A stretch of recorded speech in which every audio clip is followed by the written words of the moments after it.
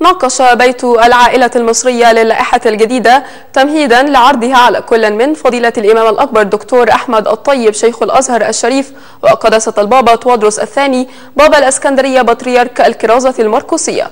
وجرى اقتراح إنشاء لجنة للتعاون الدولي للتواصل مع الجاليات المصرية في كل دول العالم. نتابع المزيد. أنا سعيد النهارده بوجودي في المركز الثقافي هنا في الكاتدرائية آه، لمناقشة آه، طبعا اللائحة الجديدة. في أهم بنودها المقترحة وفي لجنة مصغرة النهارده منبثق عن اللجنة التنفيذية بتناقش ال- البنود الواردة في اللائحة الجديدة تمهيدا لعرضها على قداسة البابا وفضيلة الإمام الأكبر.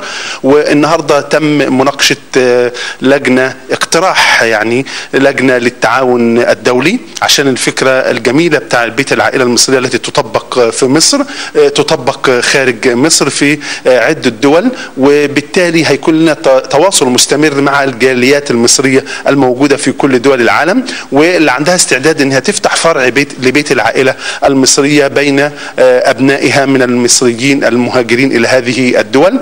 النهارده اللائحة بتناقش إن إحنا إزاي يتم التعاون مع الجاليات المصرية الموجودة في الخارج عن طريق التنسيق مع قيادات بيت العائلة والتنسيق مع وزارة الخارجية ووزارة التعليم العالي والجهات المعنية. وقدرت اللجنة النهارده إن شاء الله إنها تصيغ عدة بنود طيبة. آه، تمهيدا لعرضها على فضيلة الإمام وقداسة البابا إن شاء الله. كلنا شهدنا بعد الأحداث الأخيرة إن لازم يكون في فروع لبيت العائلة خارج جمهورية مصر العربية. وده اللي هيكون إن شاء الله عمل اللجنة. واتناقشنا في بعض اللجان الأخرى فيما يتم استحداثه من أنشطة.